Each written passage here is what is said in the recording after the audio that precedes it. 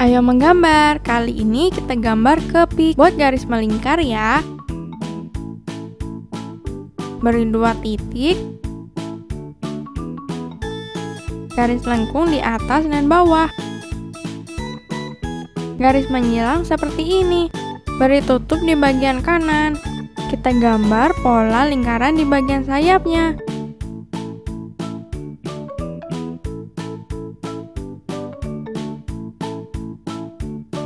Tambahkan kakinya juga.